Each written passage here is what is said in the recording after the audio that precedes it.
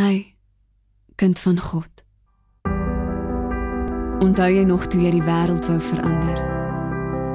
Onthou jy kaalvoet hardloop op die gras, 'n tas vol drome en prentjies en geskenkies vir almal waarvoor jy lief was? Onthou jy dans in die reën want God het die wêreld geseën en onthou jy hoe jy jou Bybel aan die armes geleen het? En hoe jy dan gekyk het hoe die druppels op die kar se ruit resies hou? En wie wen? Kind. Mens. Wie wen? En nou jaag jy rond van een bestemming na die ander op pad nêrens heen. I guess that's why they call us the human race. Kom ons face dit. Ons het eens gedink die lewe is 'n lied en toe verbied iemand jou om te hard te sing. Hulle het gesê lag sag kind en moenie te veilig voel nie en moenie vergeet van jou doel nie. Ek dink nie God het dit so bedoel nie. En gejaag op sosiale media en hulle almal jok vir ons deur slegs die sleg te wys. Kind van God, het jy vergeet om Jesus oral om jou te sien? Kyk. Daar is 'n lys want sien, sy droom vir jou is groter as wat jy ooit sal kan dink. Hy wil nie hê jy moet in 'n poel van betekenisloosheid verdrink nie. Mens. Wees mens wees. Jy kan dit alles in jou Bybel gaan lees. God se droom vir Abraham en Jakob, nageslagte wat strek so ver en so baie soos die stof op die aarde, die sand in die see en die sterre in die hemel en hulle bring seën. Jesaja, 'n profeet wat die goeie en slegte nuus deel en moenie vergeet van die siegeel nie. Eers leweloos, maar nou met nuwe lewe en seën. Die wêreld droom saam met God, een vir een kyk Josef en die buigende koringare 'n geseënde leier. En nou, na al hierdie jare, jy. Wat is God se droom vir jou binne sy wêreld? Is dit vir jou iets wat vreesaanjaend lyk of lees jy sy woord met oop oë? So, kind van God, gaan jy weer droom?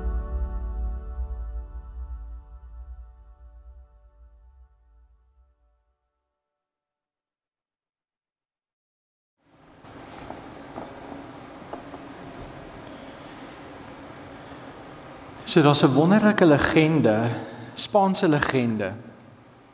En dit sê dat eeue terug toe ehm um, almal so behep was om die wêreld te ontdek en met skepe in die wêreld ingevaar het, was daar by die Straits of Gibraltar, by Gibraltar aan die suidpunt van Spanje, was daar wat hulle genoem het die pilare van Hercules wat opgerig was.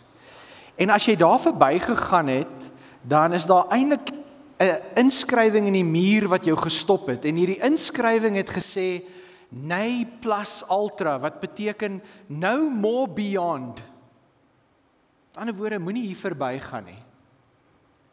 En toe een keer is daar nou 'n skeepsvaarder wat braaf genoeg is om daar verby te gaan. En hy kom toe 'n jaar en 'n half later terug met 'n skip vol skat wat hy op 'n ander kontinent gewen het. Toe gaan verander hulle die inskrywing van Nay plus Ultra na plus Ultra. More beyond. Go for it. sien ek en jy besef dit nie. Maar die konsepte, die beelde, die simbole en die idees waarmee ek en jy leef, bepaal ons lewens. Daar's van ons wat lewe met Nay plus Ultra is veilig. Ons ken die terrein. Ons bly daar. Maar dan sal van ons wat sê plus ultra more beyond. Ons is altyd op soek na iets anders. Ons is op soek na die nuwe. Ons is op soek na die beter. So hoe lyk die wêreld van iemand wat in hierdie plus ultra wêreld leef? Kyk na hierdie woorde. They are people who see the invisible, hear the inaudible, believe the incredible and think the unthinkable. Dis die wêreld van Plus Ultra. Dis die wêreld van mense wat nie tevrede is met nee Plus Ultra nie. Hulle gaan verder. Hulle drome bietjie groter. Hulle wonder 'n bietjie oor die lewe. Iemand het eendag gesê The poorest man is not the man without a cent but the man who is without a dream. Sien ons almal lewe met drome. Van ons se drome is net baie veilig. Nay plus ultra. Ons bly net hier, ons ken dit. Maar daar's van ons wat sê nee. Ons wil verder gaan. Ons wil verder droom, ons wil meer hê. Dis wat Paulus vir ons sê in Efesiërs 3 vers 20. Hy sê as jy saam met Jesus is en hy is jou pad na God toe, kan jy meer doen as wat jy ooit kan droom of dink. Die message sê in your wildest dreams, saam met God is jou wêreld nog groter as plus ultra. Dis waarna toe ons uitgenooi word. En Ons lees by die profeet Joël in Joël 2 vers 28 en in Handelinge 2 vers 17 word die profeet weer aangehaal na die uitstorting van die Heilige Gees. En dit sê as jy die Heilige Gees ontvang, dan sal tot die oues weer droom. So as jy hier sit en jy's in my ouderdomsbracket, jy kan weer droom. sien As jy jonk is, moet jy versigtig wees wie jou mentors.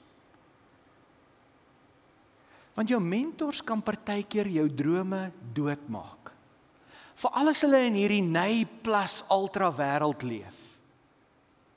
Jy gaan na hulle toe verraad en wat gebeur? Nee, speel dit veilig. Pas op. Nee, moenie. Dan is daar mentors wat ons soek, né? Nee die plus ultra. Hoekom glo ek daarin? Ek sal nooit vergeet nie toe ek in graad 11 was. Ons was familie in 'n finansiële knorsing. En my ma kry 'n droom, sy moet 'n besigheid begin. Sy kry tot die naam van die besigheid. En ek sal nooit vergeet hoe as ek 'n tiener gesien het, my ma daai droom vat met ons deel en sy doen dit. Sy voer dit stap vir stap uit nie. En ons hele finansiële situasie het verander. My ma was in haar laat 40s. Sy het die werk wat sy gehad het opgegee om hierdie droom te volg, 'n droom wat sy gehad het. Sy het geslaap, hierdie droom gedroom, wakker geword en dit gedoen. Ek het die plus ultra wêreld beleef eerstehands. Ek het dit al so baie mense se lewens gesien. En vanaand word ons gekonfronteer. Hoe gaan ek en jy leef? Gaan jy lewe met ny plus ultra? Dis oukei, okay, dis 'n keuse wat jy maak. Of wil jy saam met Jesus droom? en dan verwag dat hy meer gaan doen as die drome wat jy het. Jakob ontvang hierdie wonderlike droom.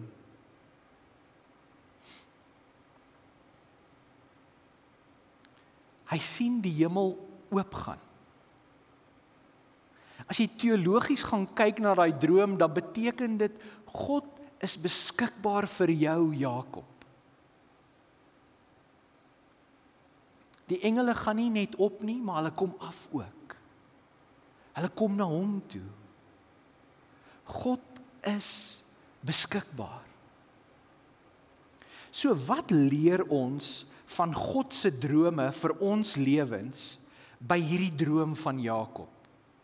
Vanaand net drie goed. In die eerste plek, God se drome is genade. Waar ontmoet God vir Jakob? Jakob is 'n bedrieër. Hy's 'n leenaar. Hy's 'n skurk. Hy steel by sy eie familie en in die proses verwoes hy sy familie. Hy's 'n narcis. Dit gaan net oor hom. Hy steel sy broer se eerstgebore reg. Hy kil sy eie pa. En waar beland hy? Hy beland buite in die bos in die veld. Dis waar hy nou is. Hy het nie klere nie. Hy het nie slaapplek nie. Hy het niks. En die teks sê die son gaan onder in vers 11. Nou metafories as Hebreëse geskrifte sê die son gaan onder, dan beteken dit dis die einde. Onthou Jakob was nie hy hy was 'n metromail. Hy het in die kombuis uitgehang saam met sy mammie. Dis wie hy was. Esau was die een wat gejag het, dubbel cab ryder bakkie 3006 bokke geskiet. Dit was Esau. Jakob het saam met sy ma 30 gebak. Dis wie hy was. Hy's nie gemaak vir die bos nie, maar dis waar hy beland.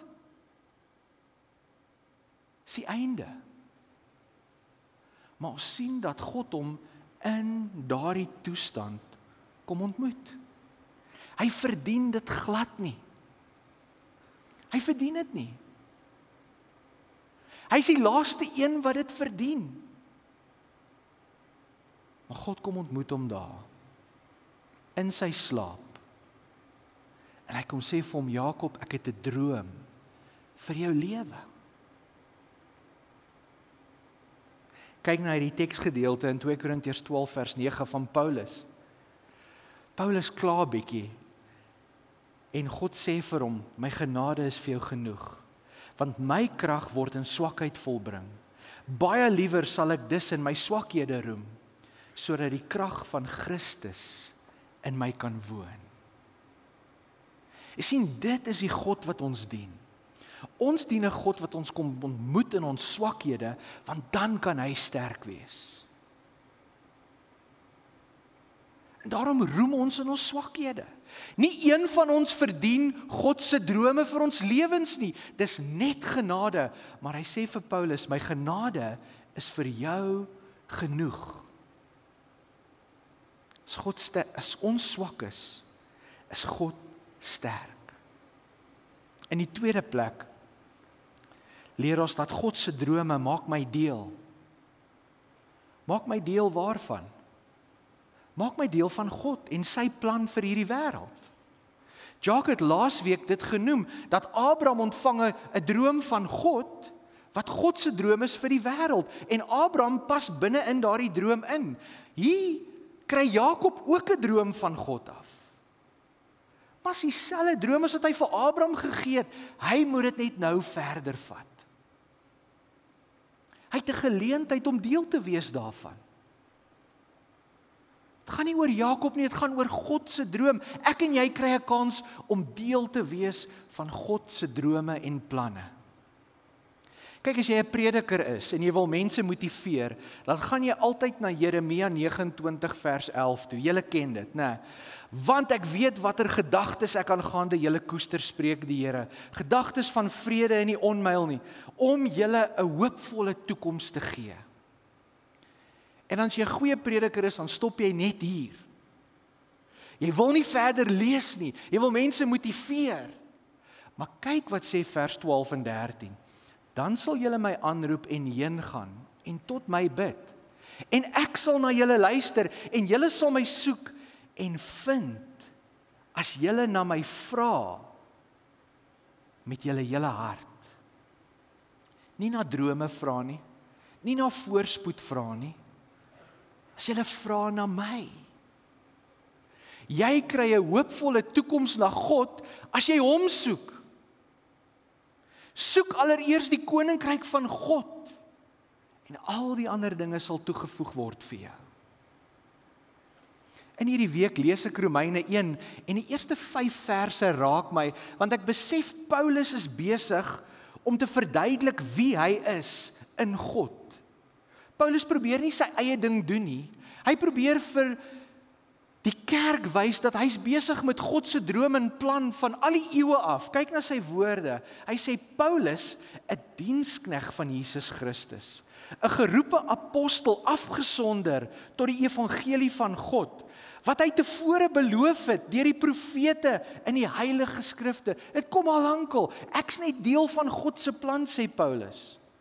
Aangaande sy seun wat gebore is na die vlees uit die geslag van Dawid al die eeue wat die profete gesê het en na die gees van heiligheid met krag verklaar is as die seun van God deur die opstanding uit die dode Jesus Christus ons Here deur wie ons genade en die apostelskap ontvang het. Paulus begin nie sy eie ding nie.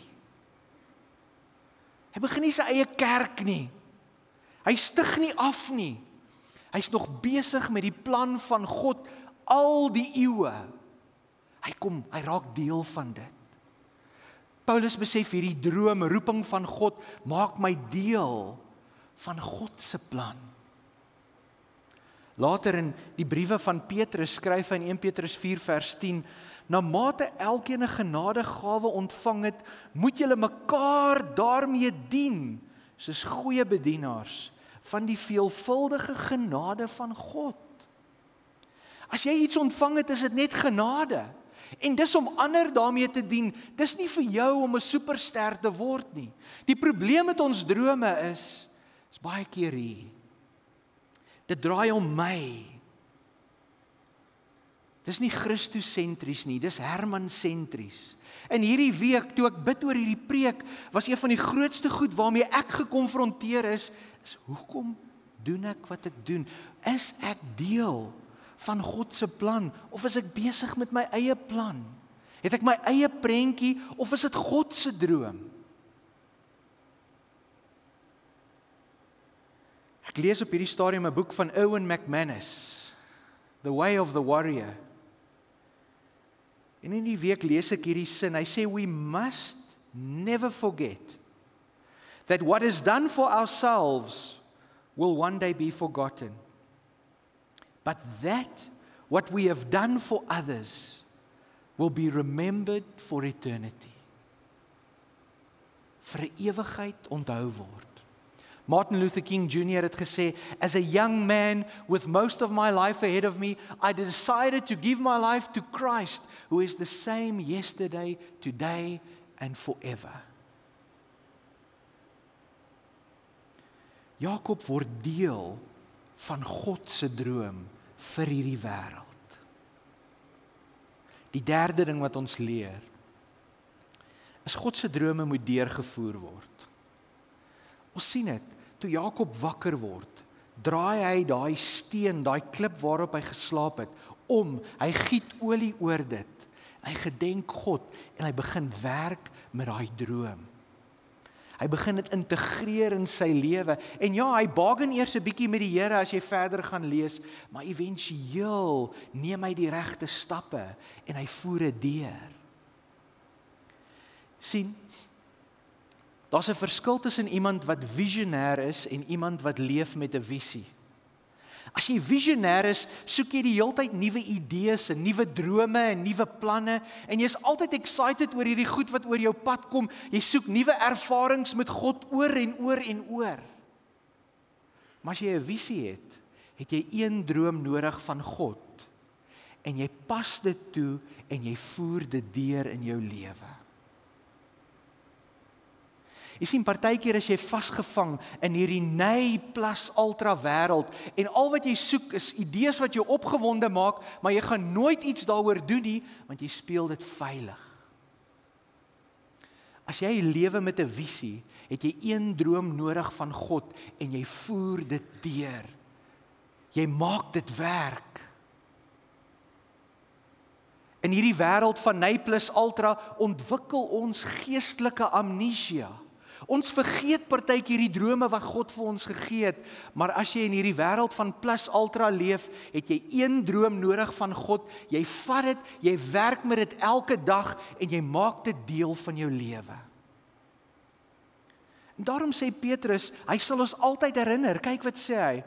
Daarom sal ek nie nalat om julle altyd hieraan te herinner nie, alhoewel julle dit weet en vas staan in die waarheid wat by julle is. Hy sê gaan julle altyd herinner. Jesus sê in Johannes 14:26, ek stuur die Heilige Gees om julle te herinner aan dit wat ek vir julle gesê het.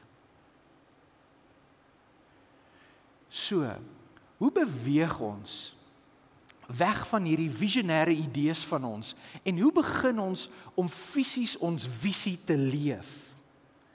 Net 'n paar goed wat jou dalk vanaand kan help. In die eerste plek, jy moet reflekteer oor jou droom wat jy ontvang het. Jy weet deel van dit is om dit neer te skryf. Ek weet nie hoeveel van julle journal nie. Maar ek het 'n elektroniese journal, 'n app wat ek gebruik. Elke keer as iets gebeur, as ek voel ek ontvang iets van God af, skryf ek dit neer. En ek reflekteer daaroor.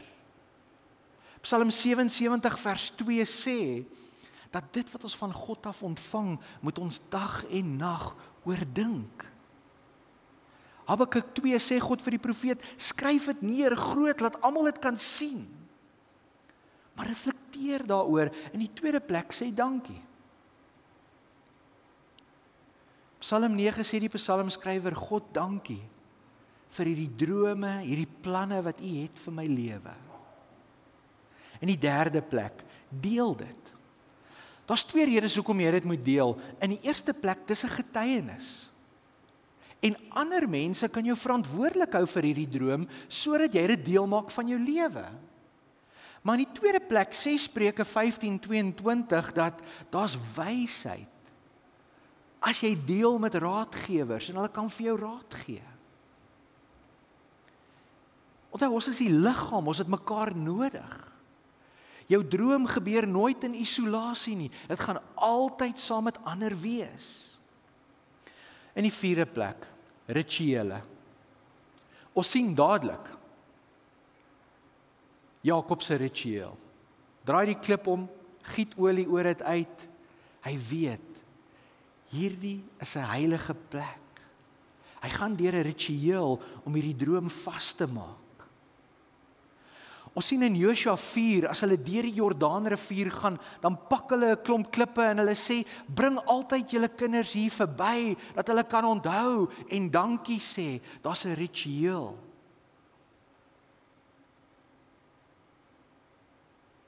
En dan sien ons in Handelinge 2, die eerste kerk. Nadat die Heilige Gees uitgestort is op hulle, het hulle hierdie rituele wat hulle in plek sit om hierdie gelofte, hierdie hierdie droom, hierdie plan wat God het vir hulle vas te maak en te leef. sien dat hulle gereeld saam bid, eet in mekaar se huise, die nagmaal vier, saam leer, dat hulle besittings deel. Hulle sit al hierdie rituele in plek sodat die droom kan gebeur. En dan in die laaste plek. God se drome gaan nie gebeur as jy nie risiko's neem nie. Hier is die wonderlike verhaal in 1 Samuel 14. Saul en die volk Israel is omring deur die Filistyne. Wat doen Saul? Moenie so Saul wees nie. Maar wat doen Saul? Saul sit onder 'n granaatboom, die wêreld van Nay plus Ultra. Hy sit onder 'n granaatboom en hy omring homself met 600 soldate. Hang in sy hangmat, eet granate onder 'n granaatboom. This is as good as it gets. Maar Saul het 'n seun.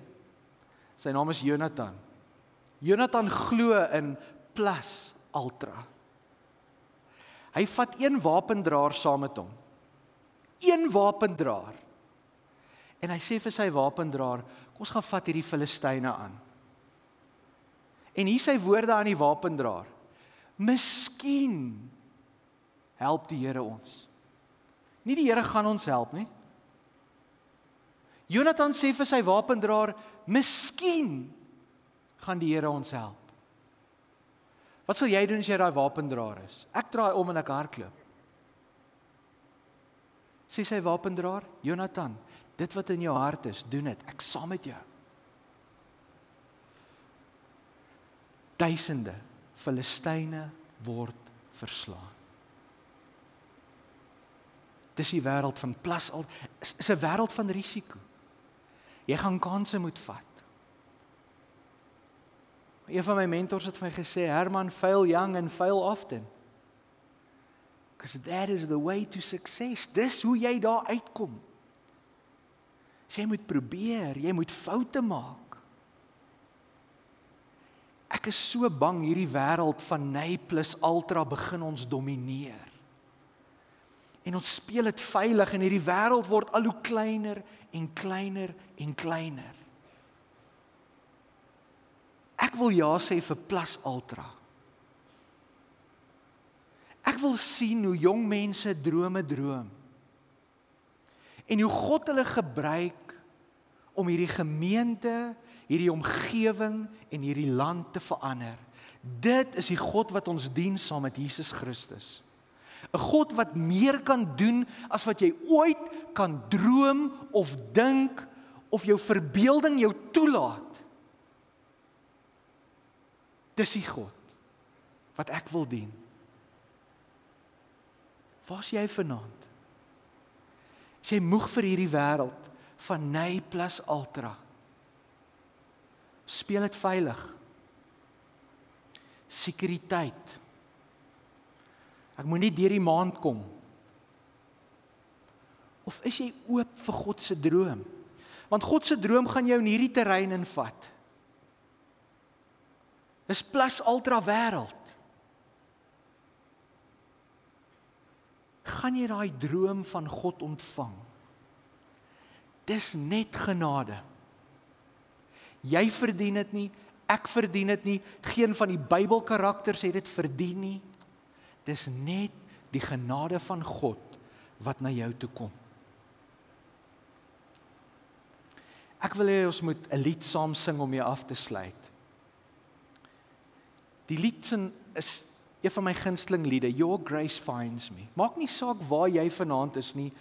God kom ontmoet jou waar jy is. En ek wil hê jy moet 'n bewustheid daarvan ontwikkel vanaand. Dat as jy hierdie woorde sing, dat God na jou toe kom waar jy is.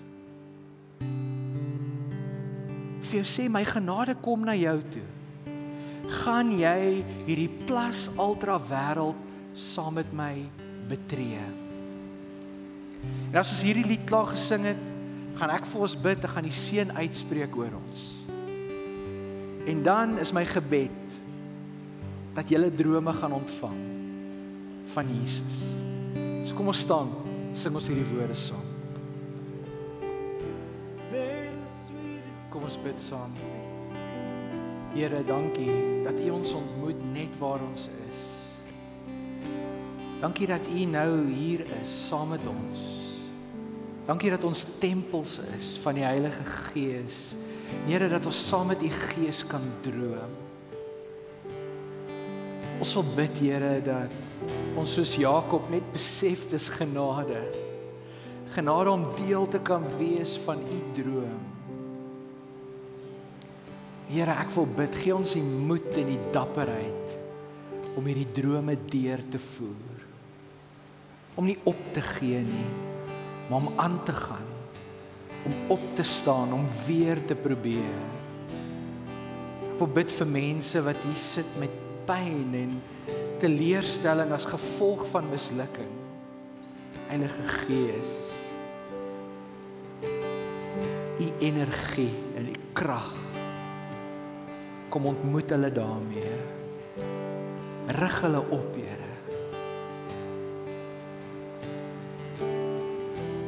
Vra dat U ons as 'n gemeenskap sal seën met drome.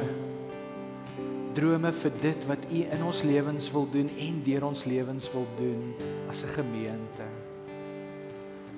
Ons vertrou U daarmee, Here.